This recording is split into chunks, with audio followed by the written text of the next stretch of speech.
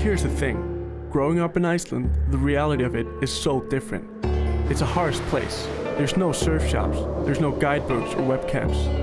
We're on our own out here. The biggest issue for us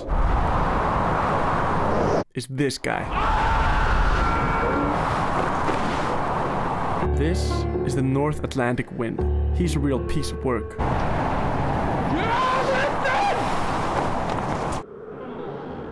His unpredictable, horrendous moods makes one curse living on this island. But luckily, living in Iceland, not everything is so black and white.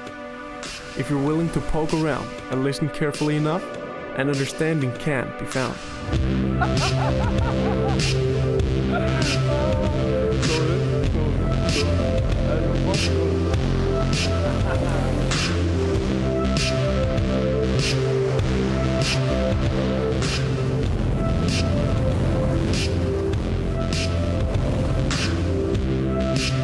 You see, compromise is the key.